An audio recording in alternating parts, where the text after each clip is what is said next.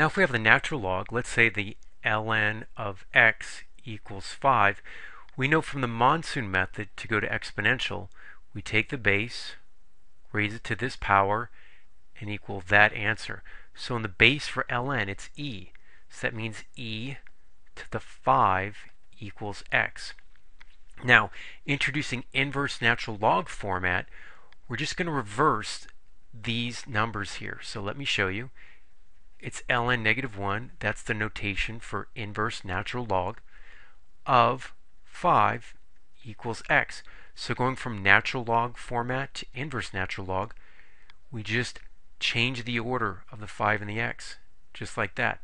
So another example, if we have ln of y equals 0.3, first the exponential, that would mean e to the 0.3 equals y. And then we take the natural log format, right? ln of y is 0.3. Reverse the order of these numbers. So inverse natural log of 0.3 equals y. Next, if we have the ln of z equals negative 2, first let's do exponential. That would mean e to the negative 2 equals z.